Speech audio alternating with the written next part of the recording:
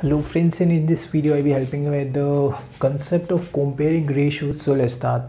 So there is many methods for comparing given two sets of ratio. I'll be telling you the easiest one out of that okay? So the one of the easiest method to compare two given ratio is just cross multiply okay? So we can do it 6 into 2 and 12 into 1 and we'll see which value is bigger which value is equals to or which value is less than so the result will be 12 over here and the result will be 12 over here. So we can see both the values are equal to your each other. So we can say these two given set of ratio is equal to your each other. Okay? Now if we change something if we change the ratio bit and then let's compare. Uh, let's make it as 4 okay? Again we can use the same technique of cross multiplying.